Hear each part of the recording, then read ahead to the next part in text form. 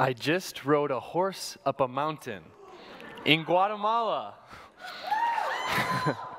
I'm on the peak of Volcano Pacaya. The day before, I was in a village called Labor de Falla on the outskirts of the city Chimaltenango.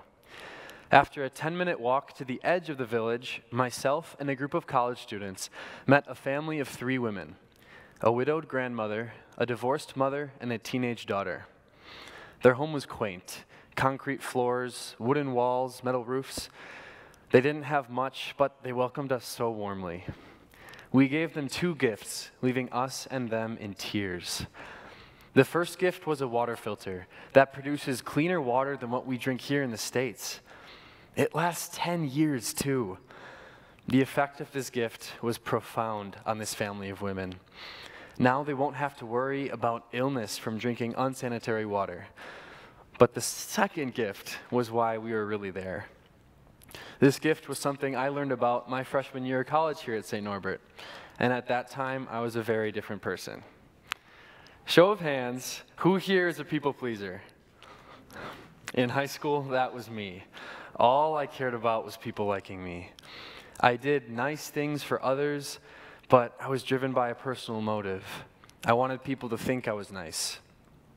I changed my personality depending on who I was around. I thought my worth as a person was rooted in what people thought of me. I would lie, undermine my own values, put others or myself down, anything to be more liked. Because if enough people thought I was a good person, then I'd find fulfillment, right? Wrong. Turns out this reputation I worked so tirelessly building backfired. In a way, I was building a pedestal to stand on so that people would see that I was good. I built it nice and tall, but as I stood on it, I realized that the Daniel people saw wasn't the real me. I felt like a fraud. As I continued to compare myself with others, I felt unfulfilled. I thought if I worked hard enough and enough people liked me, I'd be set. I was wrong. That was me heading into college. Then came my first involvement fair here at St. Norbert, where every student org known to man tries to market themselves to the new class.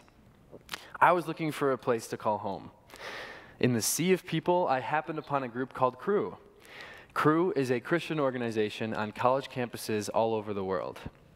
They promoted weekly meetings, eh, community, hmm, and Bible study groups. Ding ding. I felt ready to explore my personal faith more, and for whatever reason, I thought a Bible study group could be what I needed. So I went to the first Cru Bible study meeting, and what I learned absolutely bewildered me.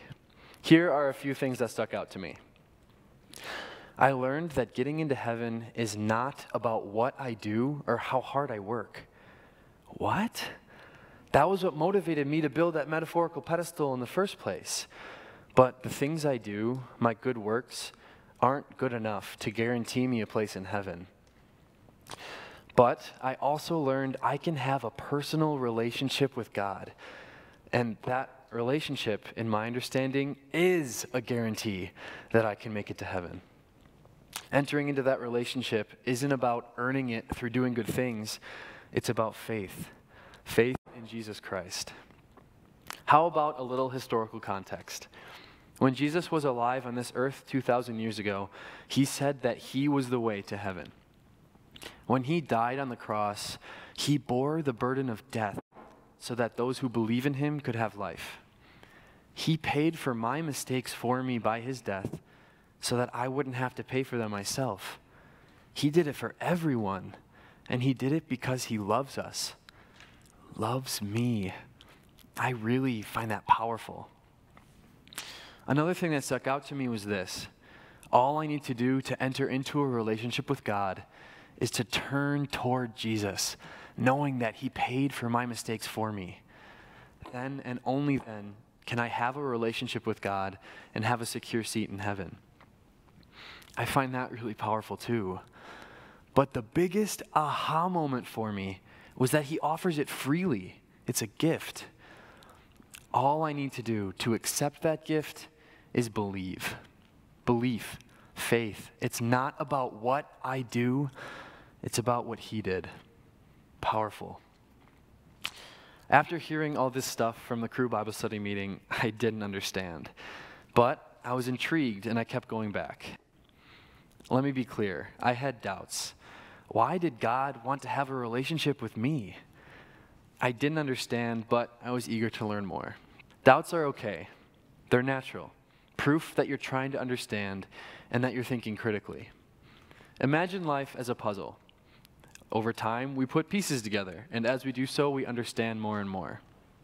As time went by, I slowly started putting pieces together one at a time. I became more involved with Cru over the next year and a half, and I came to accept the gift that God offers. I chose to enter into a relationship with God. I still had doubts. Heck, I still have doubts today. There are times I still struggle in my faith. My puzzle still has many pieces missing, but now I feel assurance that my final destination is heaven because of my relationship with God. Little by little, as I became more comfortable in this new relationship, I felt a weight off my shoulders. I didn't have to work tirelessly to be good enough anymore. I started reading the Bible regularly. However, as I grew in my faith, I still compared myself to others like I did in high school. There was one guy in particular, I'll call him Carl, that I really compared myself to. Carl wasn't new to faith like I was. Carl understood the concepts I struggled with and I wrestled with. I could never see myself being like Carl. From my view, he was leaps and bounds ahead of me. But as I got to know Carl better, we strengthened our relationship and we were vulnerable with each other. We confided in each other an area we both struggled, something I battled for nine years pornography. Today, Carl and I are accountability partners, and we've helped each other to quit our pornography addictions. Carl isn't perfect, and I'm not either. Looking back, it was like a reversal of my high school experience. I had put Carl on a pedestal thinking he was perfect, but he wasn't. It's best not to put anyone on a pedestal. Despite our mistakes, and trust me, we still make them, Carl and I understand that God still loves both of us. Okay, back to my Guatemala trip. I almost didn't go. Initially, I felt I wasn't at a place in my faith to go on a mission trip. It wasn't until the week before the registration deadline that I felt a personal calling to go, and I listened. I made my decision to go on the last possible day. I was scared, unsure, and anxious, but hopeful that I might experience God firsthand. On the trip, I'd get to give families clean water, and each family would have the chance to hear about a relationship with Jesus. That's the second gift. I'd get to share with them that you can't earn your way to heaven. I'd share that you need someone to meet you where you're at, and the only one who can do that is Jesus. God showed up for me when I was in Guatemala. When I talked with those three women, I shared what I had found in my relationship with Jesus. That day, they came to accept the gift of heaven too, just like I did. As I talked to them, I was speaking, but it felt like it wasn't coming from me. I felt God's presence. God showed up. Despite my fear and anxiety, despite me being so new to my faith, I was able to humbly and excitedly share with those women about my relationship with God. I shared that I'm not perfect, but because of God's grace, because of Jesus, I don't have to be. Seeing the joy in their eyes, seeing their reactions to Jesus, to our gifts, it is a memory I will cherish for the rest of my life. I'm so grateful that I could experience it. My relationship with God absolutely changed my life. I've personally experienced God. I felt Him working when I was in Guatemala. Just five days ago, I returned from another mission trip, this time to El Salvador, and I felt Him working there too. I want you all to know it's never too late to find refuge in something other than yourself. Some of you may have doubts, and that's okay. Maybe my story can be a puzzle piece for you.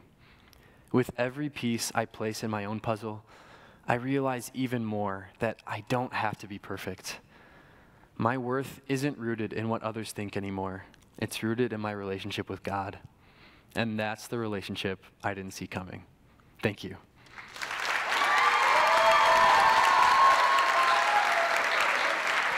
Let's give it up for Daniel.